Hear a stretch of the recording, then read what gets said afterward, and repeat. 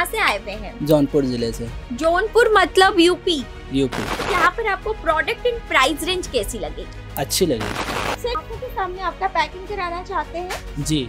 तो फिर हमारी जो टीम है आपको हाँ बोले कि ना बोले कि नहीं आप आँखों के सामने पैकिंग नहीं कर सकते ऐसा कुछ? नहीं ऐसा कुछ भी नहीं। आँखों के सामने बोले पैक ठीक जैसा तुम्हारा इच्छा। हाँ जैसे जैसे आप देख सकते हैं पीछे उनकी पैकिंग चल रही है। वो अपनी आँखों के सामने माल निकलवाए फिर पैकिंग के अगर आपको भी इस तरह से आँखों के सामने आपको अपना माल लेके जाना है तो आप बिल्कुल लेके जा सकते हैं। हर तरह की सपोर्ट हम आपको करते हैं। नमस्कार मैं शिवानी आप सभी का स्वागत करती हूँ अजमेरा फ़ैशन में और आज मैं आपको अजमेरा फ़ैशन में किसी प्रोडक्ट दिखाने वाली नहीं हूँ या फिर बिज़नेस रिलेटेड कुछ आइडियाज़ भी नहीं देने वाली हूँ। आज हम डायरेक्टली बात करेंगे हमारी कस्टमर से और पूछेंगे उनका अभी तक का एक्सपीरियंस यहाँ पर कैसे रहा है और उनका व्यापार में एक्सपीरियंस कैसा रहा है। तो चलिए हम उनसे बात करते हैं। सर नमस्कार। नमस्कार मैडम। आपका शुभ नाम? शमशेर अली। अ, सर आप कहाँ से आए हुए हैं? जौनपुर ज़िले से। जौनपुर मतलब यूपी। यूपी। उत्तर प्रदेश से सर आए हुए हैं। तो फिर अ, सर आपको अजमेरा फ़ैशन के बारे में कैसे पता चला? अजमेरा फ़ैशन में सूरत आया।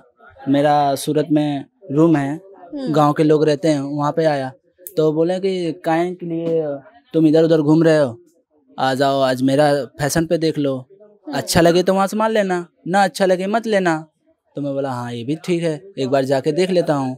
तो मैंने देखा तो मुझे अच्छा लगा मार्केटिंग भी अच्छी लगी। और यहाँ के जो मेरे सेल्समैन हैं जो मुझे हाँ, माल दिलाते हैं गाइड। कर रहे थे समझाएँ तो उनका भी व्यवहार मुझे अच्छा लगा।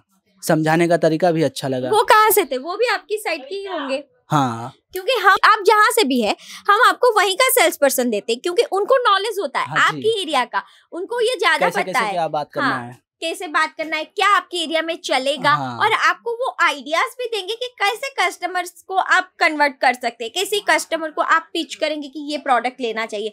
वो आपको हर तरह के आइडियाज़ दिए होंगे। जी जी। तो फिर सर यहाँ पर आपको प्रोडक्ट इन प्राइस रेंज कैसी लगी अच्छी लगी।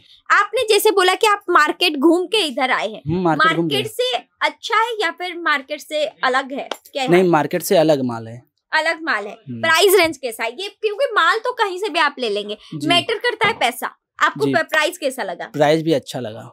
और मैं आपको हमेशा कहती हूँ कि अजमेरा फ़ैशन जो प्राइस में प्रोडक्ट देता है पूरे सूरत में आपको कहीं और नहीं मिल सकता। मैं अ, सिर्फ़ इसीलिए नहीं कह रही हूँ आपको बुलाने के लिए यहाँ पर वाकई में आपको अच्छे प्रोडक्ट इन वेराइटीज मिलते हैं। तो सर आपका कब से दुकान है? मेरा दुकान हो गया लगभग में तीन साल हो गया होगा। तीन साल हो गया होगा। हाँ। आप कब से शुरू किए? कोरोना के बाद या कोरोना के पहले? नहीं कोरोना के बाद से।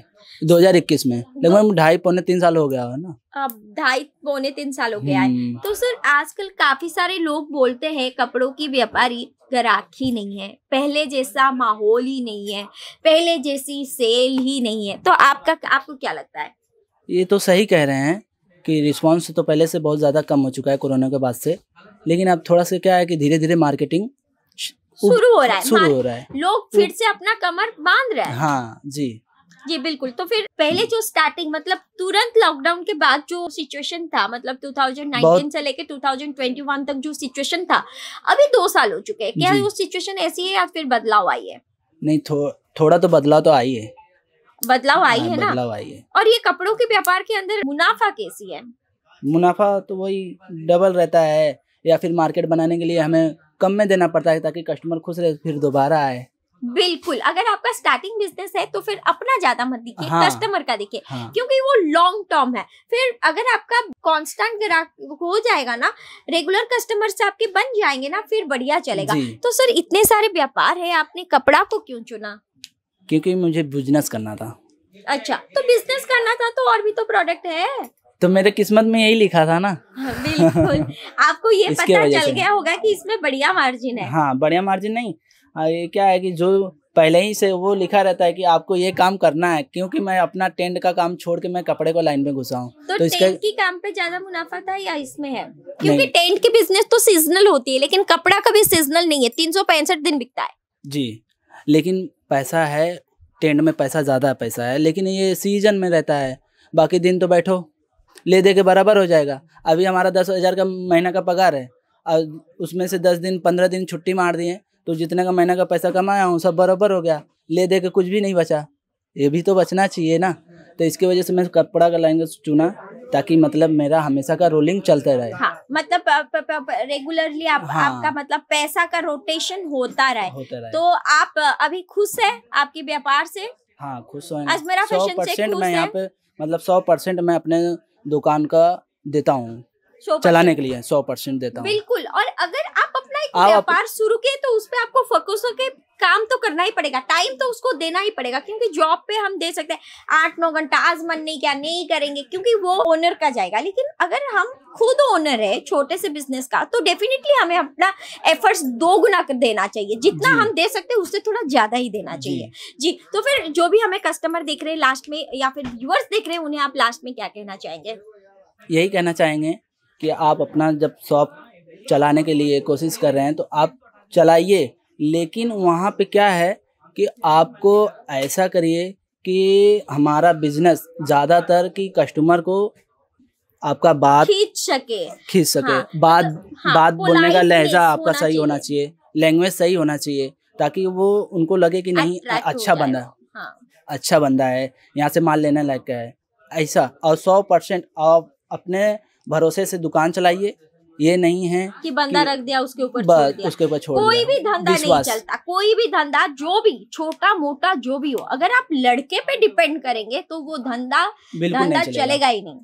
खुद जितना कर पाओ चाहे आपका चार रुपए कम इनकम हो लेकिन खुद चलाओ। किसी पे रोलिंग रोज का बराबर होना चाहिए। हाँ किसी पे भरोसा करना विश्वास नहीं है आजकल। आजकल का जमाना ऐसा तो है। खुद ही बैठो। हाँ गले पे खुद पे बैठो। बिल्कुल। तो- बहुत सही बात है।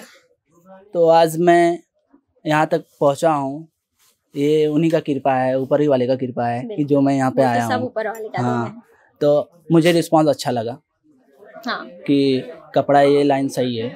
आज भी मेरे कस्टमर भी बहुत बने हैं। कस्टमर मुझसे खुश होकर जाते हैं। और मैं ये खुद सोचता हूँ और सुबह प्रार्थना भी यही करता हूँ कि मालिक कस्टमर जो आए मुझसे माल लेके जाए वो खुश होके जाए। बिल्कुल।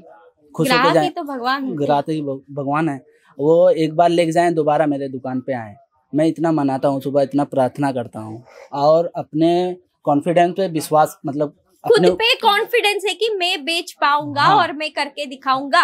और धंधा शुरू किया है तो आज नहीं चला कल नहीं चला तो माइंडसेट खराब करके मैं दूसरा धंधा कर लूँगा उससे कमा लूँगा। उससे ये सब फालतू की बातें होती है। हानि हो जाएगी। उसमें आप मतलब कहीं पे सेटल कहीं पे भी नहीं पाए कहीं ना घर का रहेंगे ना घाट का। हाँ बीच में अटक जाएँगे। बीच में अटक जाएँगे। हाँ। तो वही बात है सर आपसे बात करके बहुत खुशी हुई। आपका फंडा क्लियर है बिज़नेस को लेके और आप लगते भी बहुत यंग एज की है। हाँ अभी हमारा इक्कीस साल उम्र है।